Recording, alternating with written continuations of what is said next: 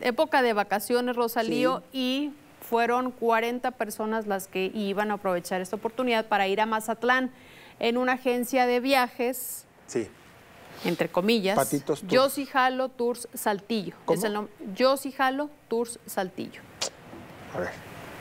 Yo sí jalo, sí, así dice la Así nota. se llama, así se llama. Yo la sí agencia. jalo Tour Saltillo. Sí. 40 personas le pagaron a Yo sí 40 jalo. personas Ajá. pagaron 3.600 pesos por cada persona. Iban a ir cuatro días a Mazatlán Sí. y 3.000. Bandera roja número uno. Yo sí nombre. jalo Tour Saltillo. Bandera roja número dos, 3.600 pesos por persona, cuatro días.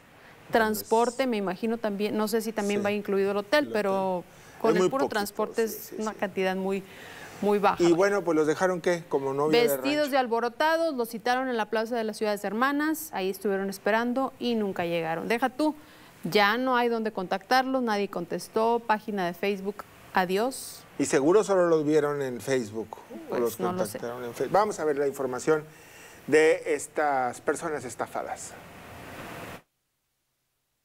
Al menos 40 personas fueron estafadas por una presunta agencia de viajes que los defraudó al no cumplir con un viaje programado al estado de Sinaloa. Eran familias completas, niños, adolescentes y adultos que fueron citados la noche de este miércoles a la Plaza de las Ciudades Hermanas, ubicada en el cruce del Boulevard Francisco Cosi Jicotencas, para abordar un autobús que los llevaría a un viaje a Mazatlán que tendría una duración de cuatro días, pero fueron estafados al no presentarse el vehículo que los llevaría para realizar sus vacaciones. Uno de los afectados mencionó que la agencia de nombre Jalo Tour Saltillo tiene sus oficinas ubicadas en General Cepeda número 1062 en la zona centro y después de haberles liquidado el viaje completo ya no respondieron sus llamadas ni mensajes por lo que su viaje no pudo realizarse. A las familias las citaron frente al teatro de la ciudad a las 23 horas donde esperarían un autobús el cual nunca llegó y fue hasta las 2 de la mañana que se retiraron del lugar al ver que no habría respuesta de parte del responsable del viaje. El costo total por boleto ascendió a 3.600 pesos, siendo una cantidad de más de 100 mil pesos la que les fue robada a quienes solo querían pasar cuatro días en la playa en compañía de sus seres queridos. La policía municipal se hizo presente en el lugar y les comentaron que debían interponer las denuncias correspondientes ante la Fiscalía General del Estado, donde mencionaran que responsabilizan de la estafa a Manuel N. y Delta María N., presuntos dueños de la agencia. Para Telezócalo, informa Eric Briones. Esa es la agencia de viajes.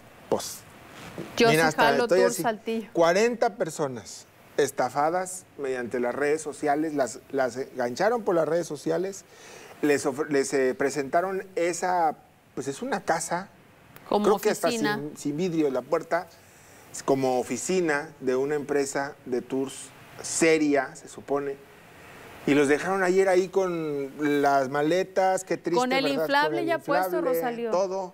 Los dejaron ahí en la plaza de las ciudades hermanas, enfrente del Teatro de la Ciudad, parados. Desde las 11 de la noche esperaron horas, hasta esperar que llegara el camión que los iba a llevar toda la noche para llegar a Mazatlán allá este, temprano. ¿no? Toda la noche, familias completas, niños, adolescentes, personas adultas mayores, todo el mundo ahí esperando, maletas, el lonche, que si los taquitos para el camión, todo listo.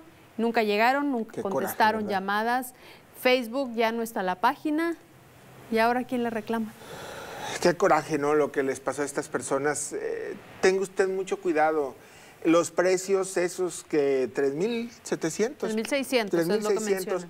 por cuatro este, días de estancia en Mazatlán es muy poco. Entonces, eh, yo le recomiendo que pues se cerciore cuando ve este tipo de promociones, cuando ve este tipo de nombres. Yo sí jalo Saltillo Tours, pues ya desde ahí es una alerta, ¿no? Sobre, sobre el tema de la seriedad de una empresa de eh, viajes. Mira, y hay comentarios ya también en esta página, nos di- dice una persona, regrésanos nuestro dinero, como quiera no te vas a salir con la tuya. Eh, otro más, regresamos, no, está, no Sí. les crean, no caigan en esta gente, nosotros nos acaban de estafar gente sin escrúpulos, puro fraude, a pesar de que se liquidó, nunca llegó el autobús. Y así me imagino que van a continuar los mensajes de todas estas personas estafadas. Ahora, siempre que vayan, que vean algo en Facebook, verifiquen que exista, que sean empresas serias, al menos que haya personas que ya hayan tenido alguna experiencia con ellos, que ya hayan viajado, que tengan, este, no sé, tiempo ya realizando este tipo de actividades, que es algo más formal. A lo mejor el nombre, bueno, pues cada quien le pone el nombre que quiere, pero a mí sí me da un foquito rojo ahí como que yo sí jalo. Yo sí jalo Saltillo. Saltillo. Y ves las oficinas, otro foco. Precio, otro foquito rojo. Cuando sea algo demasiado bonito, póngale usted atención porque...